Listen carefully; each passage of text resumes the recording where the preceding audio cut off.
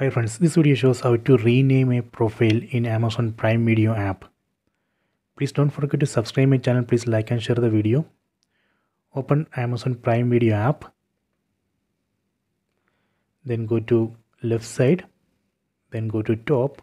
On top left side corner, select that first icon, account icon. Select it. Now we can see all profiles here. From this list, we can select the select the profile which we want to rename. Let, let me rename this Anna profile.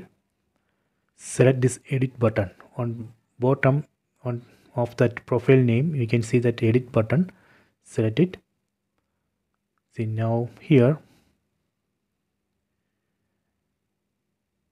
we can see change name option. Select it so now I can change the name.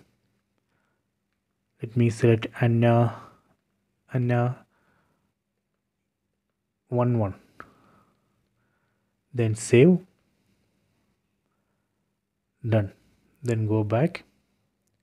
You can see profile name has changed to Anna 11 so let me uh, go to that profile switch to that profile select that profile done. So let me check the that name change. See here you can see the name of the profile has changed to Anna11 so this way we can change profile name.